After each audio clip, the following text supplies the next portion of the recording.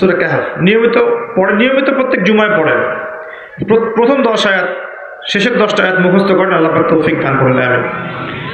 এই সুরার মধ্যে এমন কিছু আছে যা আপনাকে দাজ্জালকে চিনতে শেখাবে, তার ফেতনাগুলো থেকে বেঁচে থাকতে সাহায্য করবে। নবী সাল্লাল্লাহু আলাইহি ওয়াসাল্লামের সামনে ওমর আল্লাহ আনহু একদিন তাওরাত পড়ছিলেন, এমনি পড়ছিলেন। উনি কি তাওরাতে বিশ্বাস করতেন এমন? তাওরাতের অনুসারী ছিলেন এমন? না, এমনি ভালো লাগা থেকে পড়ছিলেন।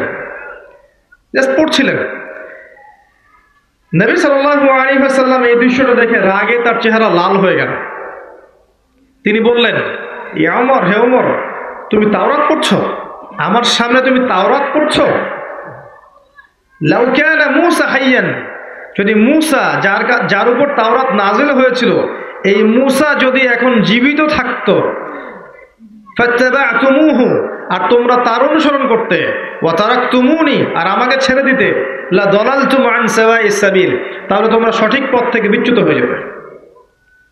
লাউ কানা মূসা হাইয়ান, যদি মূসা এখন জীবিত থাকতো, তাহলে ওয়াদরাকা নবুয়তি এবং আমার নবুয়ত পেত। লাত্তাবাআনি, অবশ্যই তার উপর কর্তব্য ছিল আমার অনুসরণ করা। কথা কি বুঝতে পারছেন? মুসা, দাউদ, সুলাইমান, অন্য সম্প্রদায়ের বইপত্র তো অনেক দূরের কথা। সেই নবীগণ যদি এখন জীবিত থাকেন, পৃথিবীতে আবার আসেন, তাদের জন্য কোরআন, হাদিস এর বাইরে কিছু অনুসরণ করা যায় হবে না। এমনকি ঈসা ইবনে মারিয়াম যখন আসবেন, তিনি কি নতুন ধর্ম নিয়ে আসবেন? ওই ঈসা আলী ইসলাম যে আবার আসবেন, আপনারা জানেন তো নাকি? বিশ্বাস করেন?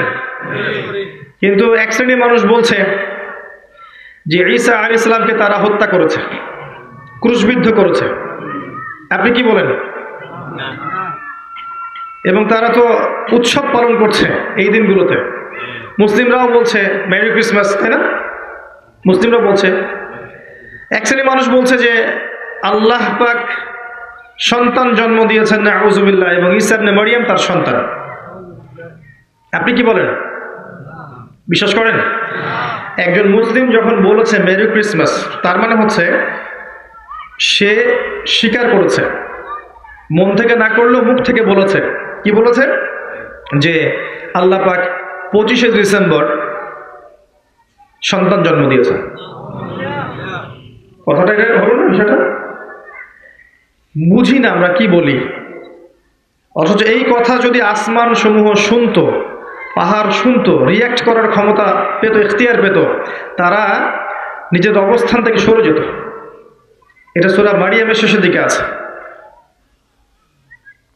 ওই পুরুনা ইত্তাখাদ রহমানু ওয়ালাদা তারা বলে যে রহমান সন্তান ধারণ করেছে লাকাদ জিতুম শাইয়ান ইদ্দা তোমরা প্রচণ্ড ভয়ঙ্কর কথা নিয়ে এসেছো تكاد السماوات يتفطرن منه وتنشق الأرض وتخر الجبال هدا এই কথা শুনে আসমান জমিন আর এই পাহাড় ফেটে চৌচির হয়ে যেতে চায় ওদের যদি ক্ষমতা থাকতো এখতিয়ার থাকতো ফেটে চৌচির হয়ে যেত এত বড় কথা বলেছো তোমরা তো ইসাব নেমারিয়াম যখন আসবেন, তিনি তিনি মোহাম্মদ সাল্লাহ আলী সাল্লামের উম্মাহ হয়ে আসবেন।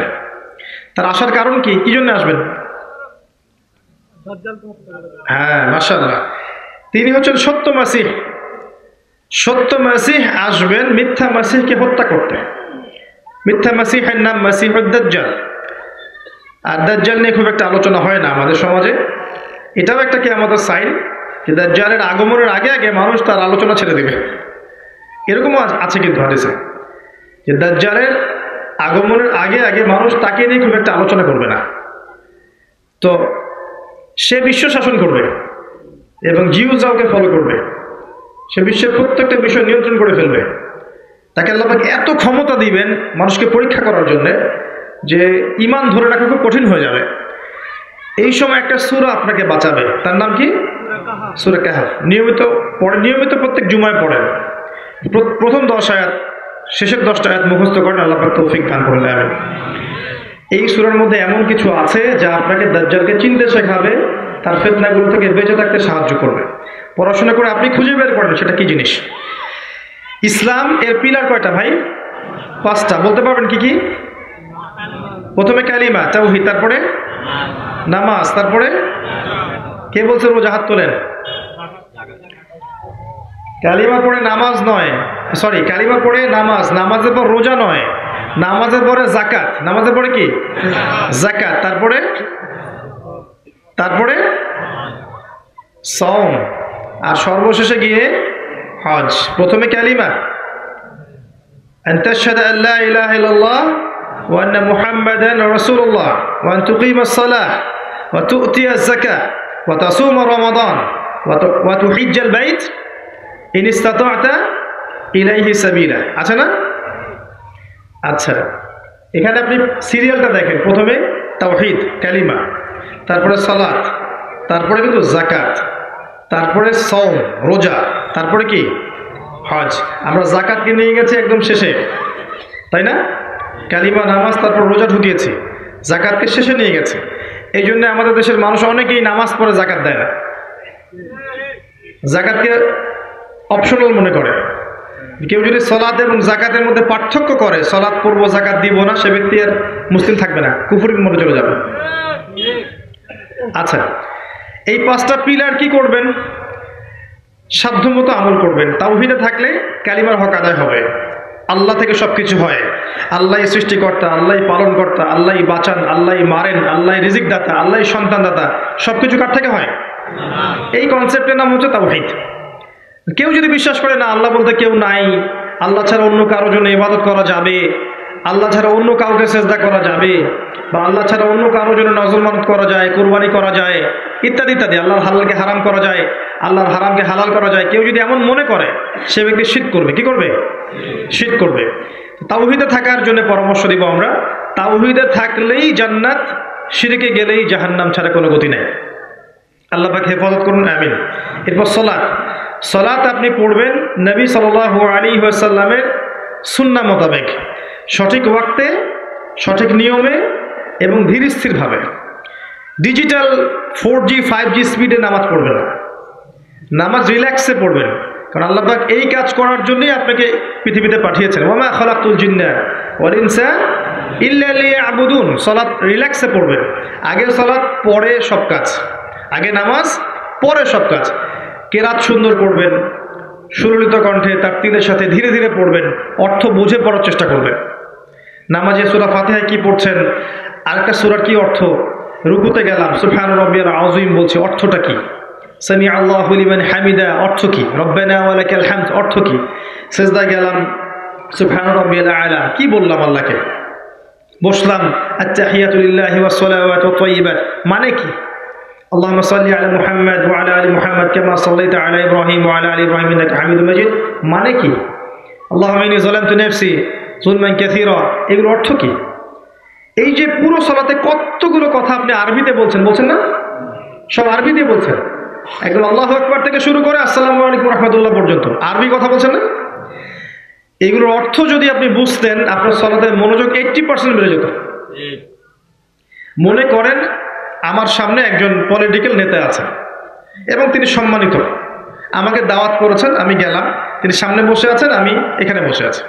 এখন আমরা ধরেন একে অপরের সাথে কথা বলছি। ঠিক আছে?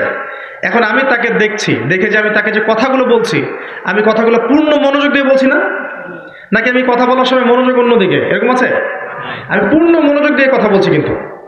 আমি যা বলছি তা আমি বুঝতে পারছি। এবং আমি তাকে দেখছি। আল্লাহকে আমি দেখছি না, কিন্তু মনে করতে হবে আল্লাহ আমাকে দেখছেন। এবং আমি কথাগুলোর যদি অর্থ বুঝি দেখবেন সলাতের মধ্যে মনোযোগ বেড়ে গেছে। এবং স্থির থাকেন, ধীরে স্থিরভাবে নামাজ পড়েন। তার তিলের সাথে নামাজে মনোযোগ বাড়বে ইনশাআল্লাহ। আরেকটা টিপস দিতে পারি আমি, যে প্রতিদিন একই সুরা দিয়ে নামাজ পড়বেন না। এক এক ওয়াক্তে সুরাগুলো চেঞ্জ করতে থাকেন। সারা জীবন শুরু যদি কুলহু আল্লাহ ইন্না আচয়না ক্যালকে অবস্থা দিয়ে নামাজ পড়েন, মনোযোগ কম থাকবে।